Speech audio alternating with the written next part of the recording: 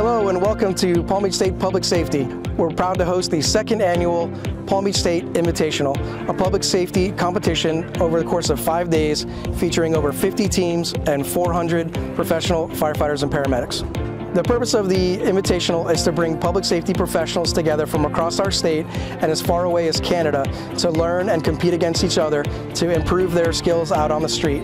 This is just great for firefighters in general, you know, to be able to recreate these high acuity accidents and have to work together and communicate as a team to, you know, solve these complex problems on the fly with a, a crowd watching and a timer going. It's uh, there's nothing like it. There's no way to recreate that without the real thing.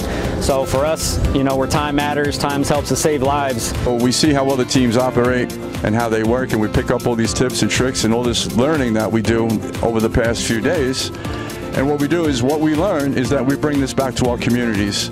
So this year we have added the Firefighter Challenge League. The Firefighter Challenge is dubbed the toughest two minutes in sports, where professional firefighters and paramedics come out and run an obstacle course comprised of seven different events.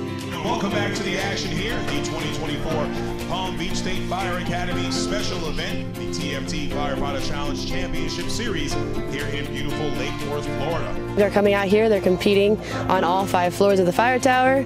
They have multiple patients with multitudes of medical traumas, um, different types of scenarios, and teams have 17 minutes to figure it all out. So this experience was amazing as a paramedic student, just to see everybody's professionalism and how they work under pressure, to see the professionalism and to see how um, everybody was calm and able to work the patients is such a great experience to have.